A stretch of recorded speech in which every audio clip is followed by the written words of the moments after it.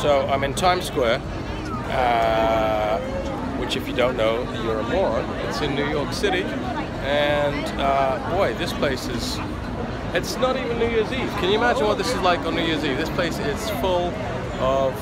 I mean, look at how many people are just taking cameras, photos, filming, selfies. I'm doing the same thing, uh, but it's uh, pretty goddamn hectic, man.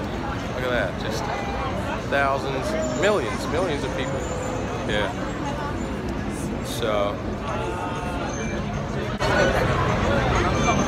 it's pretty cool. It looks like I'm not here, like this is superimposed, but I'm here.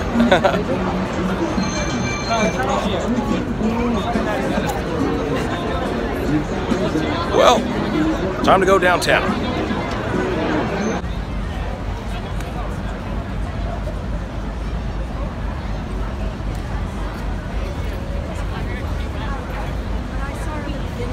career.